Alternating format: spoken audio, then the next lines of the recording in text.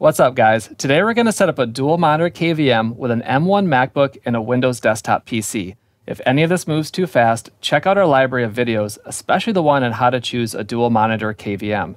So to start, we need to understand how we chose this KVM model for this situation. All TESmart dual monitor KVMs require three connections from each computer. HDMI cannot be split and extended, so the KVM is going to need one connection for each monitor and then a data connection for the USB devices. When choosing a KVM, we start by writing out the components in their ports. When doing this, keep in mind that the signal flows from the computers to the KVM and then to the monitors. Understanding this flow is very imperative if you require adapters for your setup. We're going to connect the M1 MacBook into PC1 of the KVM. The M1 supports only one external monitor, but we can get around this by using a docking station with DisplayLink. Most modern laptops typically do not need a dock because they have HDMI and Thunderbolt ports, but for this particular laptop, we need a dock because of the M1 limitation. The dock has one HDMI and two DisplayPort outputs. The desktop has a graphics card with one HDMI and three DisplayPort outputs. And since we always want to reduce the number of adapters, the correct KVM for today's setup is the HDK model. It requires an HDMI, DisplayPort, and USB connection from each computer, and it has two HDMI outputs, one for the left monitor and one for the right monitor. When connecting these monitors, we suggest to always use display 1 to the left and display 2 to the right. Display 1 gets its signal from the Display DisplayPort input, and display 2 gets its signal from the HDMI input. This makes it really easy to trace back any issues if you come across one. The setup today is going to include a Wacom tablet, a Logitech webcam, and a set of stereo speakers. The KVM only has one standard USB port, so we're going to use an Amazon powered USB hub to connect all of these to the KVM. All right, let's go ahead and set this up. All right, we're in the back of our desk here and we're gonna set up the desktop computer. And what you wanna notice here is we have a graphics card. And if you have a graphics card, it's going to disable your motherboard's onboard graphics, which are these up here. So when you connect the KVM's video ports, you want it to be your graphics card only. So we're gonna go here and plug in our display port and now our HDMI and then the USB port into the motherboard. Then we're going to come over here to the KVM. And we're going to do HDMI, DisplayPort, and then USB. Now we're going to plug in our mouse and keyboard into the emulated mouse and keyboard ports. These ports have specific programming to allow the mouse and keyboard to be instantly available, but regular USB devices will not work in these. They will only work in the USB 2.0 port, which has this little squiggly line down here. All right, let's go to the front of our desk and let's turn on the KVM and set up our Windows desktop. And turn it on. And here you can see that number two is already selected and we have online two, which means the desktop is getting a data connection with the KVM. Now, the first time you set it up, you may see some flashing while all the handshakes are being resolved. Usually once this is done after the first time, you're gonna switch back and forth much faster. Okay, now we have this up. If you aren't able to move the mouse between the monitors, then you will need to rearrange the monitors within your operating system. It's very easy to do. We'll show you how to do that.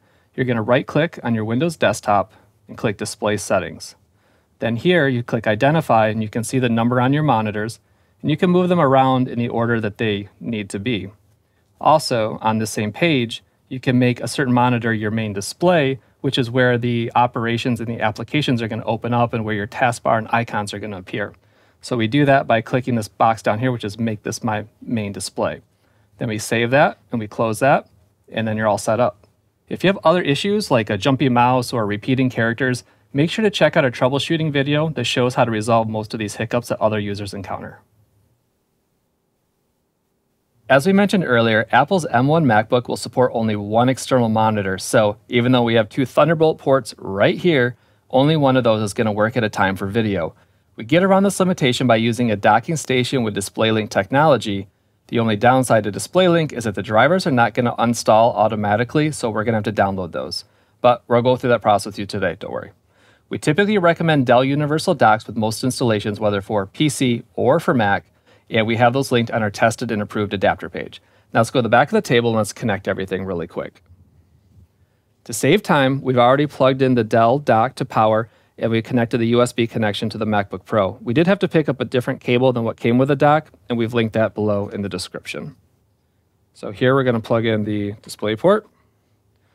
and then now the HDMI, and then finally the USB. Then we're going to run our cables over. We're going to plug them into PC1, which is going to be, oops, grab the wrong one there, HDMI, DisplayPort, and the USB. Now let's go to the front of our desk and let's set up the operating system with our KVM. So the first thing we want to do is switch over to input one. And DisplayLink was already running, so it took a little bit of the magic away. I'm just going to quit it really quick so I can show you guys how we set this up. So normally when you first turn this on, it's going to look like this with the laptop working, but the external monitors are not working. And you need to download the DisplayLink drivers. To do this, I launch Safari, I type in Apple M1 DisplayLink drivers, and then you're going to come to this page right here by Synaptics. You'll download the application here, then just follow all the prompts, and then you're going to run the application. I already have it installed to save time. So we're going to click the DisplayLink Manager, and we're going to give it about five seconds here, let the application run, recognize the monitors, and all of a sudden you're going to have the external monitors working no problem. One very, very important note, though, is that once you do have DisplayLink running, you want to come up here to display link icon, and you're going to want to checkbox this launch app automatically after logging in. If you don't do that, you're going to have to launch the display link Manager every time you want to use the Mac. Similar to the Windows desktop, if you can't move your mouse from left to right, then you want to come up here to the Apple icon and click System Preferences, Displays, then you click this Arrangement tab, and now you can move the windows around as you see fit so they look like your monitors and you can move the mouse as you normally would. One thing that we have noticed uh, that Mac OS has a lot less display options than what Windows has, so we just recommend sticking with what our Mac OS recommends. You can make some changes, but you're not going to find the same flexibility you would with a Windows PC. Oh, one final note, the M1 setup, you can close the laptop and you can use the M1 just fine as long as you have power. But if the M1 goes to sleep, you cannot wake it up with a mouse and keyboard that you normally would use. You have to open up the lid and use the onboard trackpad and the mouse. If anybody knows a workaround for this, please do us a favor and let us know in the comments. We'd really appreciate it. Thanks.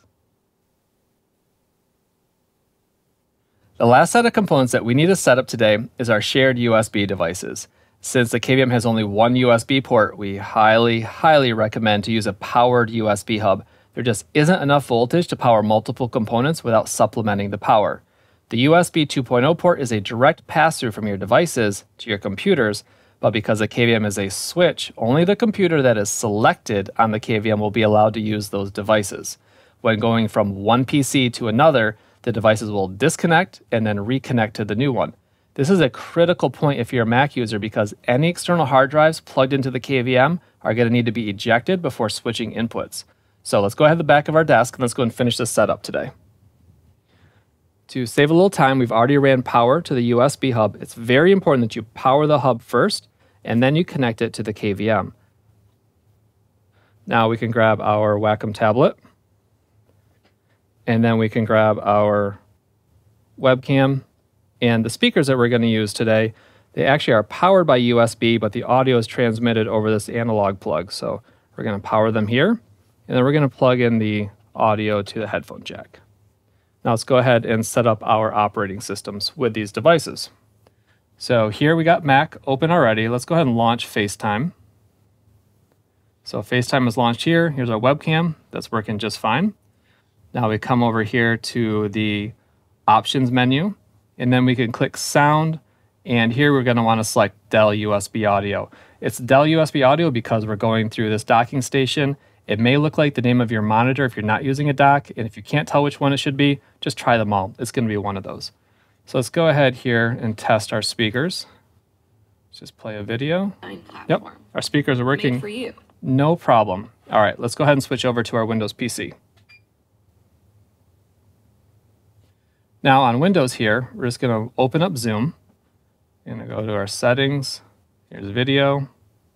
Yep, they're right here. We're good there. And let's do the audio by coming down here to lower right hand corner. And now we're going to select one of the options, which looks like our monitor. We move the cursor, nothing is happening. So this is a situation where you're going to want to try more outputs. Let's try the other monitor. There we go. Now our audio is working here on our Windows PC. Again, if it's not clear for your situation, just try them all. Now, the last thing we want to test out is our tablet. So let's open up our application here. And let's see. Yep. Tablet is working, no problem at all. All right, one last note that we want to make about shared devices is that the KVM does not have internal Bluetooth. So Bluetooth devices will not connect directly to the KVM. They're going to have to connect to a computer, which is going to bypass the KVM. This is fine, but the KVM will not be able to share those devices with your other computer. This applies to things like Bluetooth headsets, Apple's Magic Keyboard and Mouse, and Bluetooth speakers. All right, that's it for today. Leave us a comment if anything wasn't clear, or open a support ticket on buytesmart.com for personalized recommendations. If you want to learn more, to the left is how to choose a dual monitor KVM, and to the right is how to set up a dual monitor KVM with two laptops. Thanks and have a good day.